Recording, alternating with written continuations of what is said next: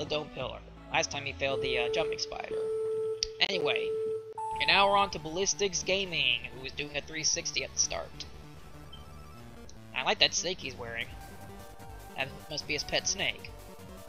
Well, he's allowed to have that on so long as the uh, snake does not interfere or help him clear in any way. Anyway, onto Rolling Boulder. Nudges it a bit to get it rolling.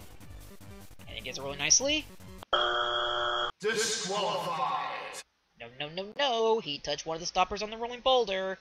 That's resulted in disqualification. I don't think he's realized yet that he's been disqualified.